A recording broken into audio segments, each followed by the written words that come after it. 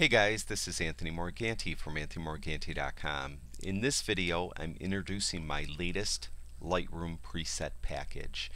Previously, I released my Volume 1 uh, preset package that had 70 Lightroom presets. Then I had an HDR effects preset package that gave you a really cool HDR look to your images, and that had 31 presets.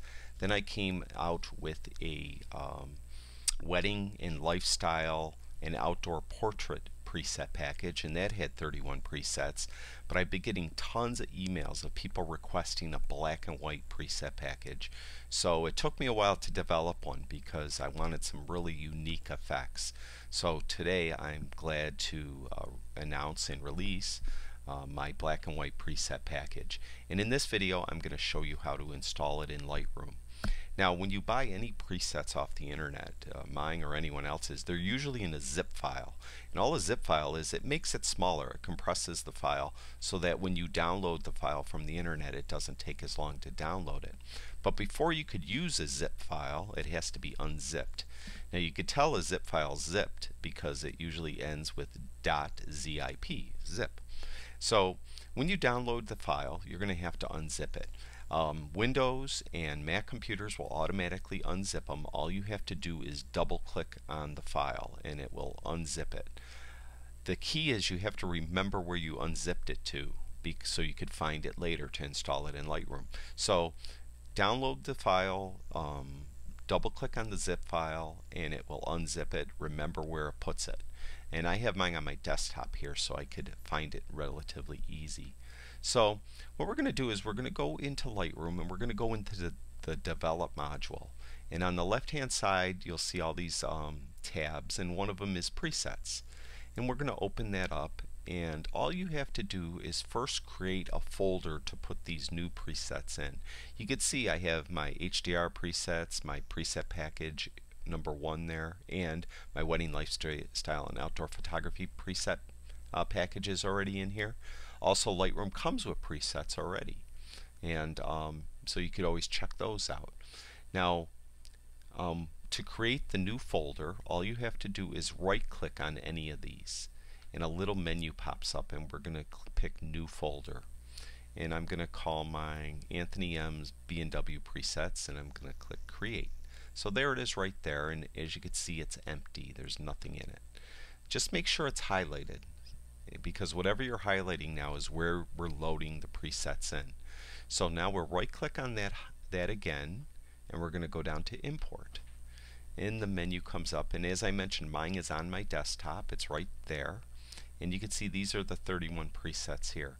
Now you have to load them all in to this folder so you have to select them. And the easiest way to select all of them is to click on one and then hit Command A if you have a Mac or Control A if you have a PC and that mean that'll select all of them and just click import and it only takes a second and it imports them into um, your Lightroom and they're right there under Anthony M's B&W presets. Now I wanted to show a few of them in action and how you use them. And one question I get asked a lot is if you could stack presets. And typically you can't, although with my first package, the package that had 70 presets in it, I created those so you could do some stacking with them, so you could stack different effects. Um, usually you can't though because you're affecting so many different sliders over here on each preset. You're basically overwriting it each time. And with my black and white presets that was unavoidable because the effects are so dramatic. Um, this uh, picture of this horse, you guys who watch my Lightroom training videos might remember I had an episode where I did a real dramatic black and white effect on this image and um, it probably took me 15-20 minutes to do it. Well, I have it in my preset package so you could do it in one click. And it's right here, it's the Morganti effect I called it. Um, and um, I have it in light, medium, and strong. So you could just, you know, do it in light and see if you like it. And try it in medium if you like that. Or do a really strong if you're really crazy. And that gives you this kind of effect like I did in that um, in that uh, video, Learn Lightroom 5 video. So you could do it in one click instead of taking 15, 20 minutes to do it. Just do it in one click. Um, show you some of the other effects here. Um, we have some like I don't know graphic black and white maybe on this one. You could see in just one click this dramatic effect you get uh, with the image. I'll do the before and after. There's before and there's after.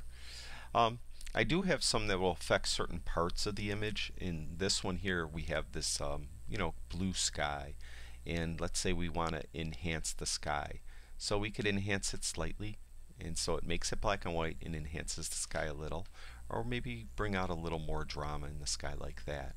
And then I have image like this and um, we have this really kind of dramatic light coming in here. So we want this dramatic look. So we'll go dramatic medium or dramatic strong. So those are, you know, really some powerful effects that might take you some time to create by just sliding these sliders and going back and forth. And I've uh, created them so you could just do it with one click and it will save you a lot of time. Um, I did mention that you can't stack these uh, presets. That's not entirely true. I have one preset here that you could stack on top of the others.